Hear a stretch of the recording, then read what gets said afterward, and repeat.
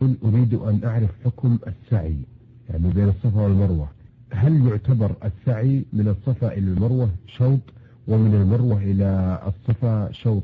أم شوطين أفيدونا وفقكم الله وقد كنا نعمل آه الذهاب من الصفا إلى المروة والعكس شوطا واحدا ونحن نجهل ذلك. وفقكم الله.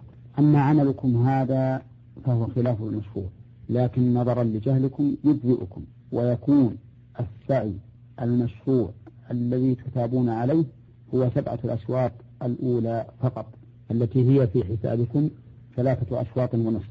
نعم.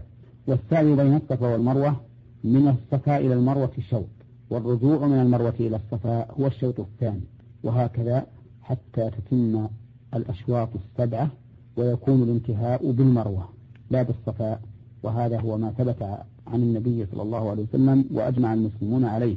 ولم يقل أحد بخلافه إلا قولا يكون وهما من قائله. نعم. نعم.